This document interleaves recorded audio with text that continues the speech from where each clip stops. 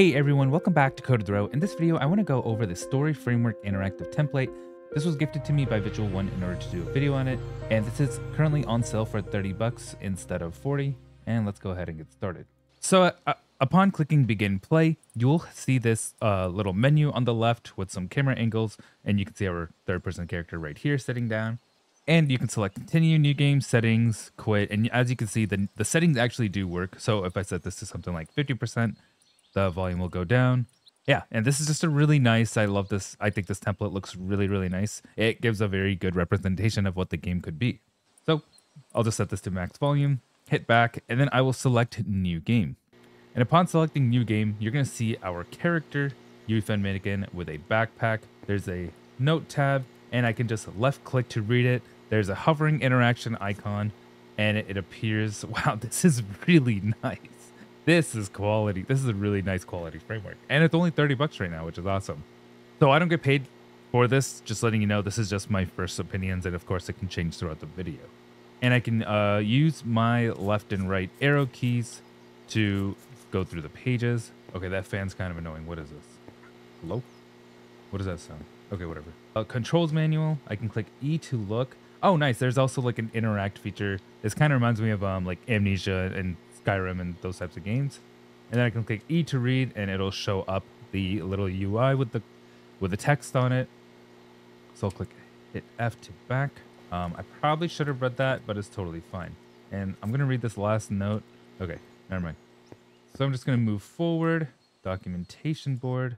Okay, so clicking this actually just pops a launcher. It pops this launcher, which is a story framework documentation by Stephen Meyer. So, okay, I accidentally just clicked on that a bunch of time. All right.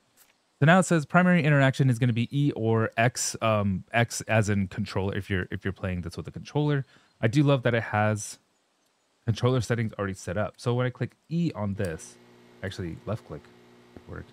Oh, okay, that's the that's the sound of the light. All right, let's turn that off. That's that's loud, and it kind of teaches you how to use the framework. So we can get the cassette over here. So I can uh, left click to pick up, and when I hit T, it'll open my, it'll show my little UI or inventory and I can click X to drop. And when I drop it, you can see that the cassette is right there. So I'll close my inventory to click by clicking T again, and I'll pick this up and I'll place this in this monitor and I'll play it. All right, this cassette sucks. All right, anyways, moving forward. Oh, nice. So there's more interaction stuff over here. Schematics up ahead and fixed camera to the right. What is fixed camera?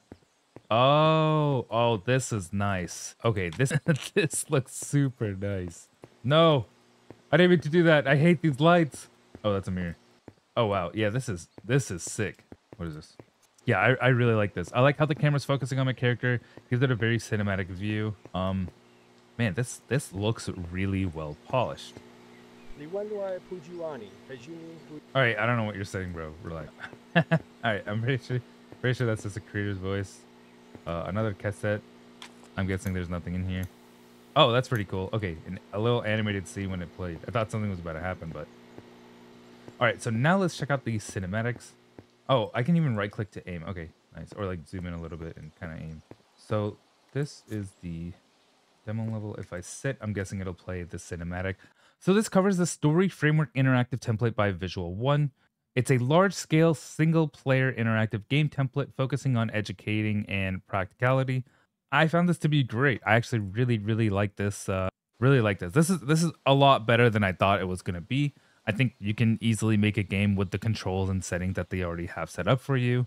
It looks really polished and yeah, you can definitely add on to this, like adding a combat system and so on. It is single player, but definitely uh a very very i mean I, I don't know this is this is this kind of blew me out of the park i did not expect this plugin to be this good looking for for just 30 bucks and yeah thanks for watching code with ro like subscribe comment below what you want to see next let me know if you get the plugin in the in the comment below i might do some um if quite a few of you get it feel free to join my discord i can maybe help you or guide you through this plugin to see uh if you want to merge your characters into it, help make your game, maybe add some combat system and so on.